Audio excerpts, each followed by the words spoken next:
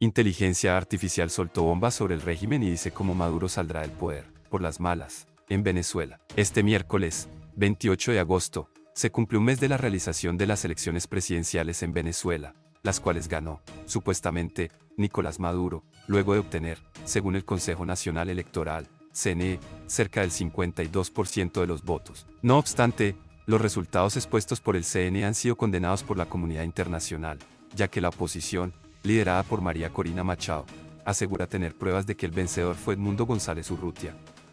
El vecino país desde entonces vivió una compleja situación política y social. Está claro para la mayoría del pueblo venezolano, Estados Unidos y un número creciente de países que el CNE no ha proporcionado votos completos, detallados y contados porque demostraría que Edmundo González Urrutia ganó la votación, precisó Karim Jean-Pierre, portavoz de la Casa Blanca, Estados Unidos, hace unos días. ChatGPT, que es una de las inteligencias artificiales más populares a nivel internacional, señaló que el futuro de la vecina nación depende de diferentes factores.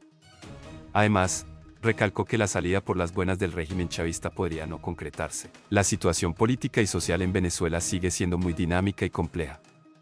Nicolás Maduro ha enfrentado una presión considerable tanto a nivel nacional como internacional.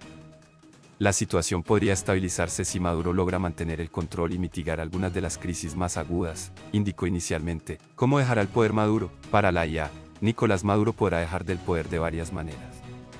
Cada uno de estos escenarios conlleva una serie de desafíos y riesgos. Cambio interno, un cambio dentro de su propio partido o una crisis interna podría forzar su salida.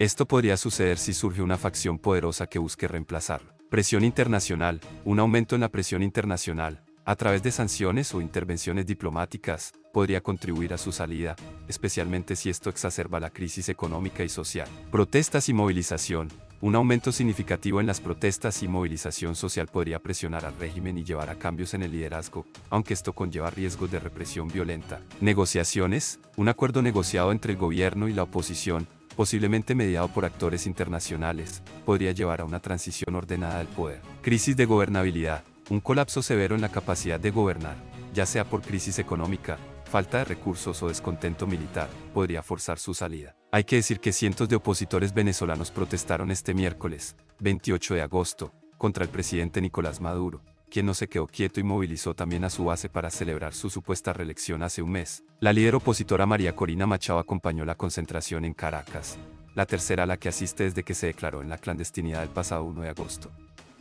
Llegó camuflada con un suéter negro, subió al camión que sirvió de tarima y, tras su discurso, salió en una moto. Tenemos que pensar lo que hemos hecho en este mes, es una etapa dura y lo sabíamos, pero cada día que pasa estamos avanzando. Tenemos una estrategia robusta y está funcionando. Esta protesta es indetenible. Sentenció Machado.